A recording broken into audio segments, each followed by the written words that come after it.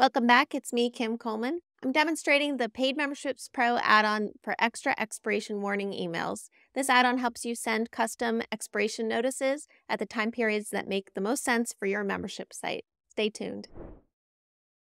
Before I get started, I want to talk about how expiration warnings work in Paid Memberships Pro by default. So the core plugin will send a notice seven days before a member's expiration. You don't need any add-on to use that feature. It happens by default for all of your members who have an expiration. Um, that's only for members who have expiration, not for users that are on a recurring subscription with a non expiring membership. The site already sends notices when invoices are processed. There's another add on if you need to send a notice in advance of an invoice processing. I'm not going to talk about that today. So, the add on extra expiration warning emails is designed to help you send a notice of expiration 90 days, 60 days, and 30 days prior and then you can customize those intervals. So let's get started. I'm going to install the plugin and then we'll talk through how to customize the intervals. I'm already logged into my demo site, so I'm just going to navigate to memberships add-ons and I'll search for extra expiration and I'll click install. This is a standard add-on, so you have to have a standard or higher license key enabled in your site in order to use this plugin.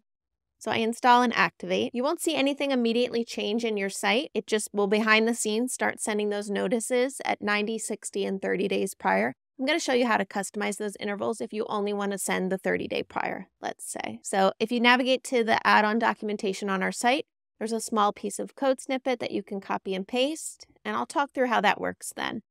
I have a plugin on my site called Code Snippets, and that helps me add code to my site in a safe way. Okay, Cool. So I have my snippet set up. The snippet accepts an array of settings that are the count of the days. So 60, 30, 10.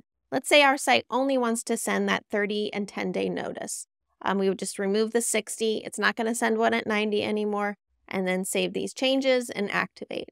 So now that's what's happening in the site. If you wanted to customize the content of that expiration notice, you could navigate to settings, email templates and locate the membership expiring form. This would be sent at all intervals. We do have some code if you want to send a unique email at the 60 day mark.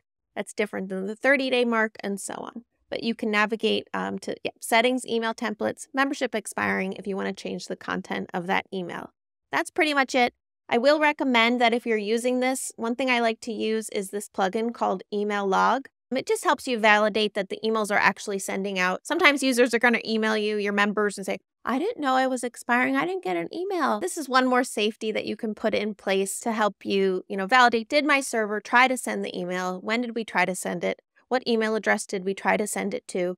There can still be hiccups on either side of receiving and, and sending, but it's one more safeguard and it'll help you observe the emails being generated and sent from Paid Memberships Pro from your whole WordPress site. So it is a cool plugin. I do recommend using it. You can activate it here. So that's it for the expiration warnings add-on demo I can give you today. Check it out. It will help you perhaps let people re-up their membership, sign up sooner if they know that they're expiring and you send them a few more nudges. The world's so busy. Email is so crowded. So if you send a few more notices, it might just help you catch a few people whose memberships would otherwise cancel in the process. Give this channel a like and subscribe if you're interested in more demo content and helpful how-tos from me and my team. Thanks so much for watching.